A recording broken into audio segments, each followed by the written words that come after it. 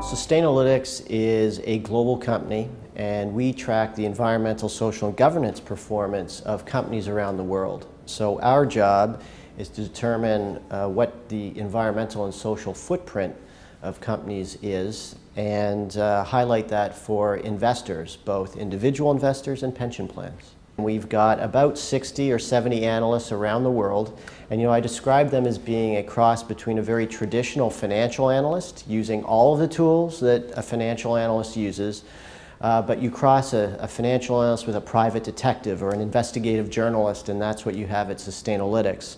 So they're not just looking at the corporate information, they're talking to governments, they're talking to NGOs, they're talking to unions, they're talking to indigenous people, the broad range. And you know, it's like putting a jigsaw puzzle together, and you're putting those pieces together. So it's not just what the company says it's doing, in the environmental and social area, we're actually measuring what they're doing, the performance of that company. The foundation of what we do is an analytical framework, and we look at core indicators in the environmental, social, and governance areas.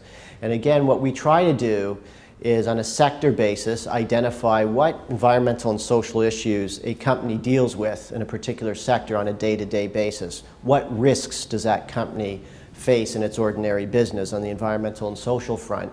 And then we try to measure how they're going about minimizing those risks. So, you know, for oil and gas, obviously you've got large environmental challenges like climate change and water usage and so on. Well, first of all, do the companies know about those risks? If they know about them, what are they doing to mitigate or minimize those risks? And that's really where um, Sustainalytics comes in, measuring the gap between understanding and action.